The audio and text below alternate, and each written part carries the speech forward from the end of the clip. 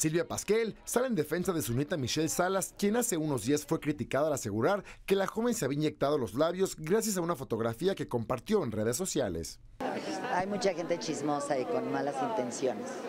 Ella siempre ha tenido su boquita así carnosa, como la de nosotros. Es de familia. Sí, así dicen que se inyectó las también, pues imagínate, si algo tenemos es terrier.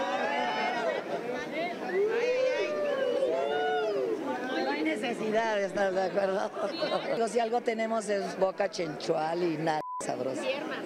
La Pasquel ya había confirmado que no participaría en la bioserie de su mamá doña Silvia Pinal. Sin embargo, dice que aunque le invitaran lo rechazaría y explica por qué. Yo estoy además en otro proyecto y no sería ético que trabajar al mismo tiempo en dos televisoras. A veces, a veces por algo no se dan, coordinan las cosas. Lo que es para ti ni, ni aunque te quites. Aunque confiesa no estar cerrada al amor, dice que es lo que le impide tener pareja en este momento. La verdad, mira, te digo, estoy en el proyecto y muchas veces los llamados son de las 8 de la mañana hasta las 10 de la noche y llegas a tu casa y no tienes ganas ni de flores, ni de ir a cenar, ni nada más que desmaquillarte, cenar de volada y ponerte a estudiar lo que vas a hacer al día siguiente.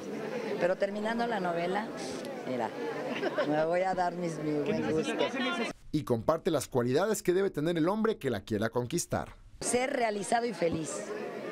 La belleza física la da el trato, la plática, eh, lo culto, lo atento, lo caballeroso, eso hace muchas veces que veas a una persona bella, aunque no sea muy agraciada.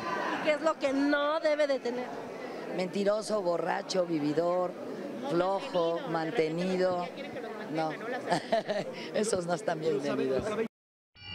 ¿Quieren estar al tanto de todas las exclusivas del medio del espectáculo? ¿Busca tener la información de los famosos de primera mano? Pues suscríbase a nuestro canal de YouTube. Solo tienes que darle clic.